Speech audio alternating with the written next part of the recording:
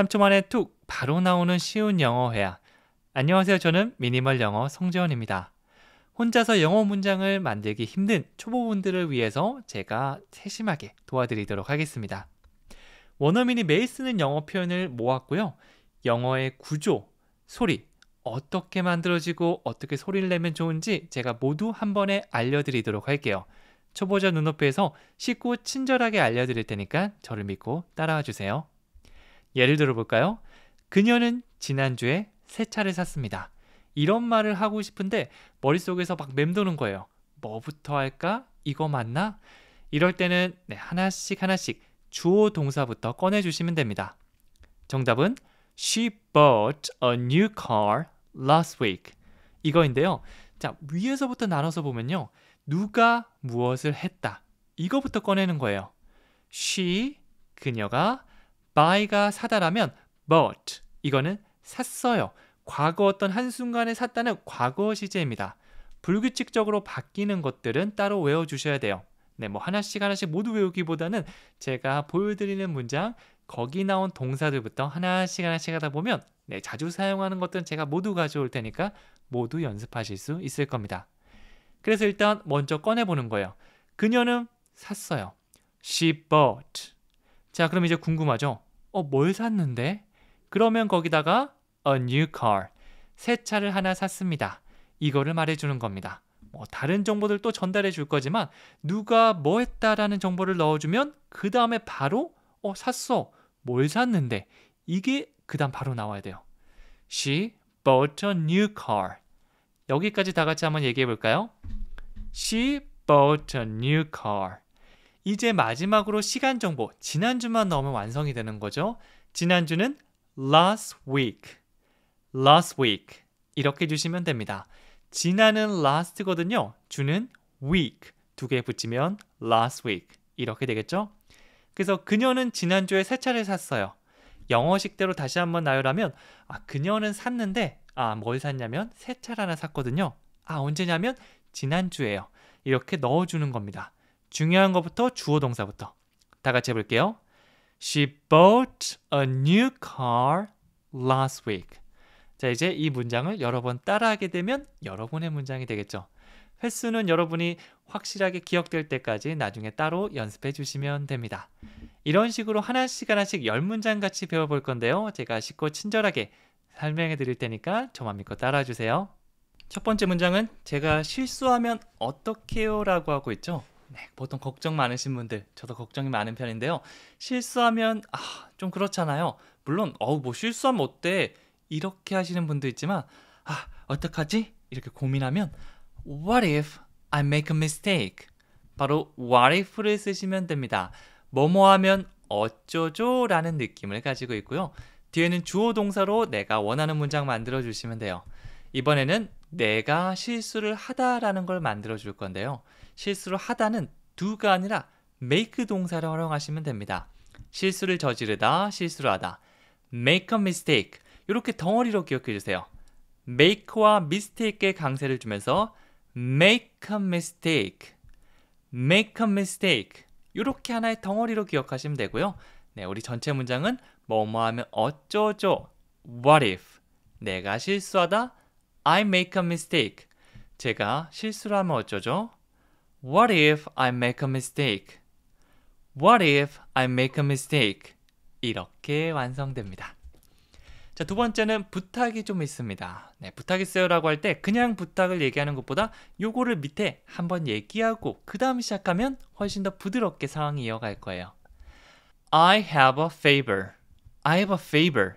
Excuse me, I have a favor. 저는 청이 있습니다. 부탁이 있습니다. 라고 하는 거고요. 이거는 미드나 영화 보시면 정말 사이사이에 많이 등장할 거예요. 우리가 부탁하는 사항 많죠? 그럴 때 나는 가지고 있고 부탁을 이렇게 하는 것보다 I have a favor. Excuse me. Thank you. I love you. 이런 것들 바로 나오잖아요. 똑같이 만들어 주시면 됩니다. 특히 한 세네 단어로 있는 짧은 문장들은 여러 번 따라하면서 생각과 동시에 나올 수 있게 만들어 주시면 가장 좋습니다. 저 부탁이 좀 있어요. I have a favor. I have a favor. 이렇게 해주시는 거죠. 자, 그리고 세 번째는요. 날씨는 어때요? 라고 묻고 있습니다. 날씨는 어때요? 이렇게 묻는 것도 굉장히 도움되는 질문 중에 하나인데요. 우리가 공통 주제가 잘 없기 때문에 낯선 사람하고 대화하기 힘들죠. 그럴 때 제가 추천드리는 게 뭐 음식, 날씨 이런 것들인데요. 특히 두 가지는 free talking의 교과서라고 불릴 만큼 많이 활용되는 주제입니다. 그래서 그 중에 하나인 How is the weather? How is the weather? 이 문장은 툭치만 나올 수 있게 어때요? 날씨가 How is the weather?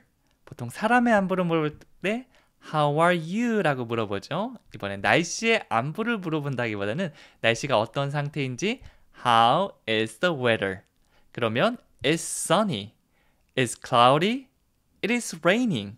이런 식으로 내가 아는 날씨 표현들 간단한 거 사용해서 말씀해 주시면 되고요.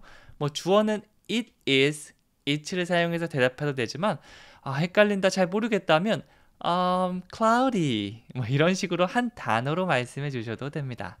날씨를 말하는 표현들 이것도 여러분들께서 간단한 단어 몇 개 맑고 흐리고 비 오고 요 정도만 알고 있어도 편하게 얘기하실 수 있을 거예요. 뭐 기억 안 나면 it's good 뭐 이런 식으로 약간 인기응변을 사용해 주시는 것도 괜찮겠죠. 그리고 네 번째는요 너의 머리 스타일 마음에 든다. 제가 칭찬 영어 표현은 무조건 연습하라고 추천해 드리는데요. 이 단어, 이 문장 하나만 얘기해도 분위기가 정말 좋아지는 경우를 많이 봤습니다. 특히 내가 머리를 새로 하고 왔는데 칭찬해 주면 너무 기분 좋잖아요. I like your hairstyle. 간단하지만 정말 강력한 힘을 가진 그런 문장입니다. I like your. 여기까지 한 번에 가볼까요? I like your. 그 다음에 칭찬하고 싶은 거 넣어주시면 돼요. 나는 좋아해 너를. 이렇게 딱딱하게 직역하는 것보다 그거 괜찮네. 그거 마음에 든다. 이 정도로 봐주시면 돼요. 헤어스타일을 바꾸고 왔으면 I like your hairstyle. 이 원피스, 드레스 같은 거를 새로 입고 왔으면 I like your dress. 그리고 바지를 새로 입고 왔으면 I like your pants. 혹은 청바지라면 I like your jeans. 이렇게 하면 내가 이거 어제 샀는데 어쩌고저쩌고 이거 너무 예쁘지 하면서 아, 좋은 사람이다 라고 생각할 수 있을 거예요. 꼭 칭찬해 주세요. 헤어스타일 바뀌면 I like your hairstyle. 그렇죠. 다섯 번째는 이 근처에 은행이 있나요? 라고 하고 있습니다. 보통 길 물어볼 때 where is라는 걸 많이 사용하는데 이거는 어디 있나요? 라고 하는 거고요. 그거 전에 있는지 없는지 물어볼 수도 있겠죠. 물론 이것도 where is와 비슷하게 사용할 수 있습니다. Is there a bank near here? 이렇게 했는데요. There is 뭐뭐가 있습니다. 어떤 존재를 말하는 정말 많이 사용하는 구조 중에 하나죠. 그래서 there is a book 책이 있어요. on the table 테이블 위에 뭐 이렇게 얘기하기도 하고요. 여기서는 there is a bank 은행이 있습니다 라고 어떤 장소를 말하기도 합니다. 질문으로 바꿔준다면 there is의 순서를 바꿔서 is there a bank 끝은 살짝 올려주세요. is there a bank? is there a bank? 여기 근처 이 근처에 near here near here 이렇게 됩니다. 한 번에 기억해 주시면 돼요. Is there a bank near here? 그쵸 살짝 올려주시면서 Is there a bank near here? 이렇게 해주시면 돼요. 뱅크 자리에 뭐 다른 거 convenience store, restaurant, restroom 내가 찾는 장소를 넣어서 여기 근처에 뭐뭐가 있나요? 여행 가셔서도 아주 편하게 사용할 수 있겠죠? 자, 그리고 여섯 번째는요. 몇 개 국어를 할 수 있나요? 라고 묻고 있습니다. 몇 개 국어, 얼마나 많은 언어를 당신은 할 수 있나요? 보통 우리는 한국어 플러스 영어 네, 이 정도 살짝 더해지고요. 뭐 중국어나 일본어 등등 할 수 있는 능력자분들도 계시지만 유럽 친구들은 따닥따닥 붙어 있어서 그런지 그리고 언어가 좀 비슷하더라고요. 우리가 영어 배우는 것보다 일본어 배우는 게 훨씬 더 편하게 느껴지잖아요. 그런 것처럼 어, 그 친구들도 한 뭐 세네 개 정도 할 줄 압니다라는 친구들 어, 정말 부럽긴 한데 뭐 저희는 영어만 잘해도 뭐 사실 큰 문제는 없습니다. 뭐 그 나라 가서 여행하고 뭐 이렇게 일하는 거 아니면 영어 너무 잘하지 않아도 돼요. 조금 편하게 얘기할 수 있을 정도 완벽하진 않지만 내 의사, 내 기분과 감정과 생각을 얘기할 수 있을 정도만 돼도 충분해요. 네, 그래서 다시 한번 돌아가 보면 몇 개 국어 할 수 있나요? How many languages Can you speak? 얼마나 많은 셀 수 있는 건 how many 셀 수 없는 건 how much를 사용해서 물어볼 수 있는데요. 언어는 뭐 한국어, 중국어, 일본어 이렇게 셀 수 있으니까 how many languages 이렇게 먼저 만들어 볼게요. 얼마나 많은 언어를 몇 개 국어를 정도로 봐주시면 되고요. 그 다음에 뒤에는 우리가 늘상 만들던 질문들 Do you? Can you? Did you? 뭐 이런 거 넣어주시면 됩니다. 여기서는 할 수 있나요니까 Can you speak? 뭐뭐의 능력을 물어볼 때 can you를 사용해서 물어볼 수 있죠. 피아노 칠 줄 아세요? 영어 말할 줄 아세요? 뭐 이런 질문이 can you로 시작한다고 볼 수 있습니다. 말할 수 있어요는 can you speak? 보통 언어를 말하다라고 할 때 say나 tell보다는 speak를 사용하는 게 더 자연스럽게 느껴집니다. How many languages can you speak? 몇 개 국어를 할 수 있나요? 이렇게 되는 거죠. 조금 헷갈리면 이렇게 나눠서 How many languages? How many languages can you speak? Can you speak? 나눠서 기억해서 순서대로 꺼내주시기만 하셔도 괜찮아요. 일곱 번째 가볼게요. 점심으로 샌드위치 먹자. 먹자라고 할때 eat이나 뭐 have를 쓸 수도 있지만 간단하게 이렇게 때우거나 가볍게 먹는다라고 할 때 원어민 이 표현도 정말 많이 사용합니다. Let's grab a sandwich for lunch. 나중에 들으셔도 당황하지 않으셔도 괜찮아요.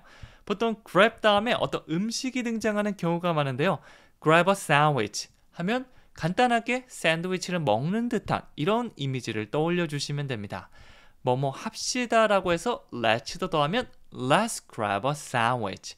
우리 샌드위치 먹자. 간단하게 샌드위치 먹자. 이렇게 볼 수 있고요. for lunch. 점심을 위해서 점심으로 이렇게 되겠죠? Let's grab a sandwich for lunch. grab 이 동사 네 정말 우리가 어색할 수도 있는데 실제로는 많이 사용하는 것 중에 하나니까 꼭 기억해 주세요. grab a sandwich 이렇게 덩어리로 일단 먼저 기억해 주시는 것도 좋습니다. 뭐 다양한 의미가 있겠지만 자주 사용하는 것은 음식 관련 표현이거든요. Let's grab a sandwich for lunch. 한 번 더 해볼까요? Let's grab a sandwich for lunch. 여덟 번째입니다. 저는 이런 사람 만난 적 없어요. 사진 보여주면서 야, 너 얘 알지? 너랑 친하다고 하는데 한데 처음 보는 얼굴인 겁니다. 뭐지? 영어로? I haven't met any person like this. 이렇게 했죠. have pp를 사용해서 과거부터 지금까지 연결된 느낌을 줄 수 있는데요. 여기서는 have에다가 not을 붙여서 축약형 haven't. haven't. 그럼 과거부터 지금까지 했다가 아니라 해본 적이 없다에 가깝습니다. I haven't met. 만난 적이 없는데요. I have met은 만나봤어요고요. I haven't met. 만나본 적이 없습니다. 이렇게 되는 거죠. Any person은 어떤 사람들이고요. Like this. 이것과 같은 사람들. 네, 뭐 직역하면 이것과 같은 어떤 사람도 만난 적이 없어야지만 뭐 편하게 저 이런 사람은 만난 적이 없는데요. 진짜 모르는 사람일 수도 있고요. 정말 처음 보는 유형의 사람들 있잖아요.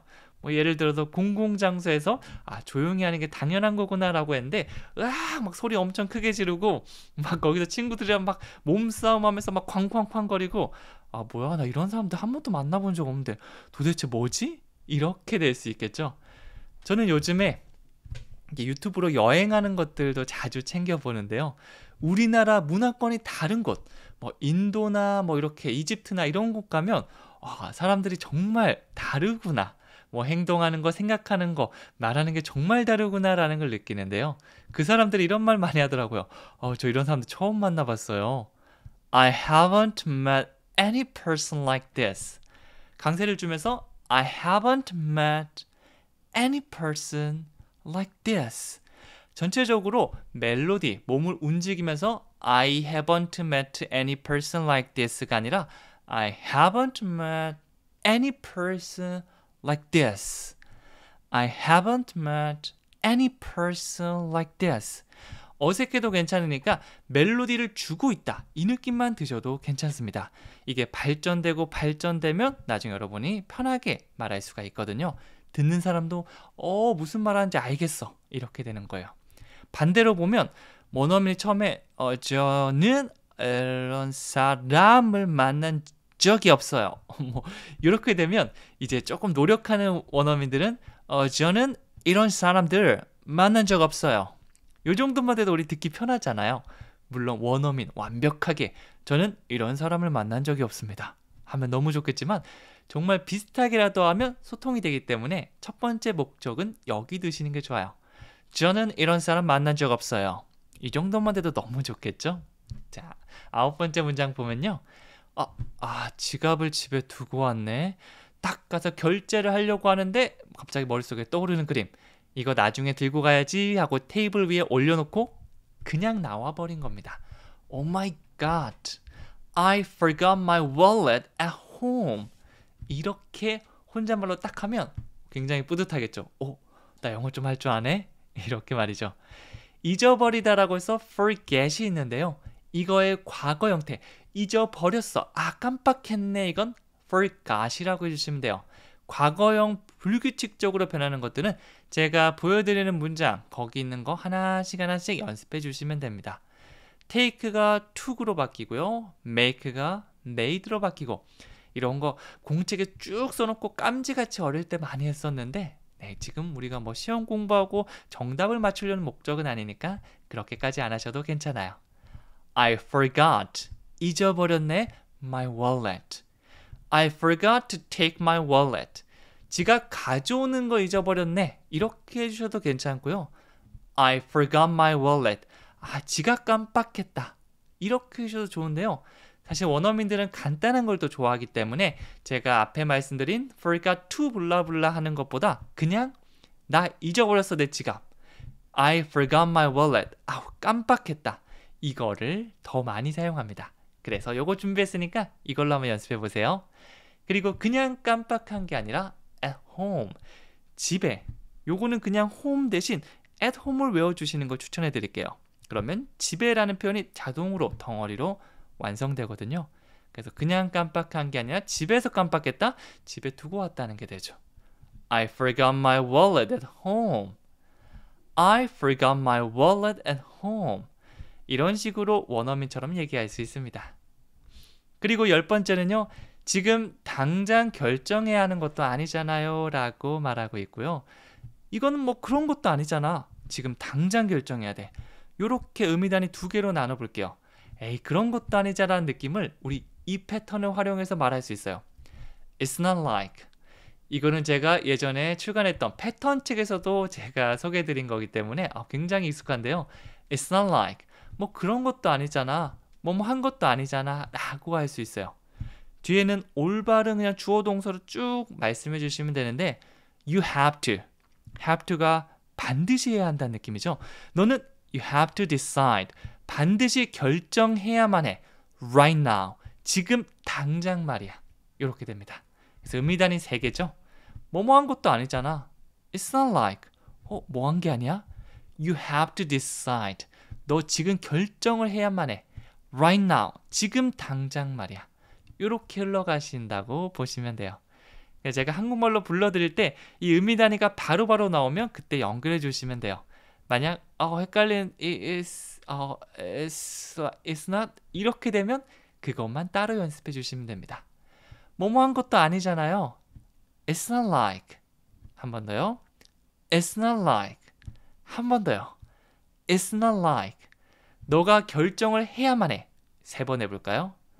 You have to decide. You have to decide. You have to decide. 지금 당장 right now. right now. right now. 전체는 It's not like you have to decide right now. 천천히 하면 It's not like you have to decide right now. 이런 식으로 긴 문장을 나눠서 쪼개서 반복해서 말하다 보면 네, 어, 려움이 만약 10이었다면 9, 8, 7, 6 점점 줄어들 수 있을 거예요. 이게 매일같이 습관처럼 문장 만들다 보면 나중에 얼마나 편하게 만들 수 있을까요? 네, 그거는 경험해 보신 분들이라면 모두 아실 겁니다. 꼭 이렇게 마음에 드는 문장은 이렇게 따라하는 거 추천해 드릴게요. 마지막 퀴즈는 그녀는 지난주에 새 차를 샀습니다. 이거 우리 첫 번째 제가 말씀드렸던 문장이죠. 그녀는 샀어요. 새 차를 하나 지난주에. 이렇게 의미 단위별로 떠올리면서 하나씩 말씀해 주시면 됩니다. 그럼 여러분들 하나씩 하나씩 10개 문장 중에 마음에 드는 거 있으면 또 같이 써주셔도 괜찮고요. 쓰고 말해본다. 이거 좀 귀찮지만 꼭 한 번씩 해보시는 걸 추천해 드릴게요. 그럼 전 여기까지 하고요. 다음 시간에 또 찾아오도록 하겠습니다. 감사합니다.